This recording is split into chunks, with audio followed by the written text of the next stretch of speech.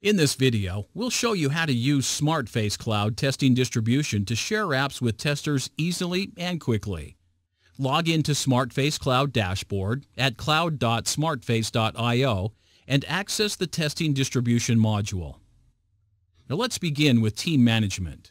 You can work with individual testers or define teams of various cases such as functional tests or user acceptance tests. Click on the Add Team button to create a team and type in email addresses separated by commas. Next, let's create a new testing distribution profile. On the Profiles page, click on the New Profile and upload your file.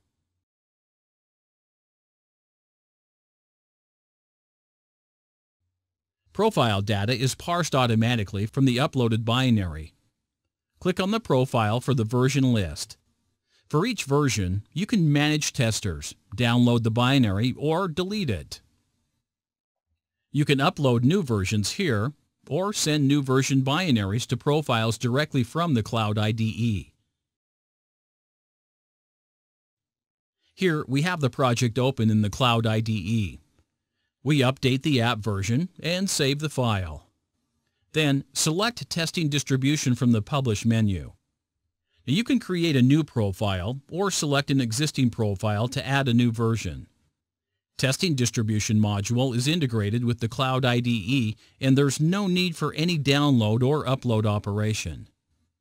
The new version is added to our selected profile. To share a version with testers, click on the Testers and then the Send for Testing button. You can add teams or email addresses for sharing and along with a message to the testers.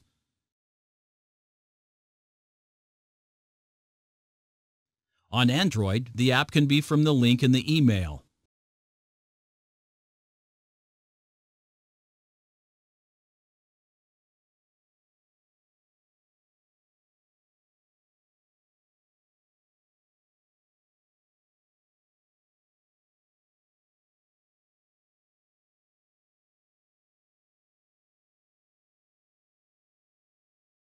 On iOS, the app will be installed directly from the link.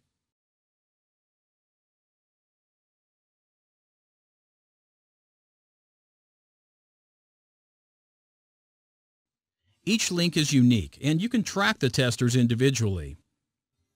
Testing distribution is an effective tool to streamline testing and version management processes.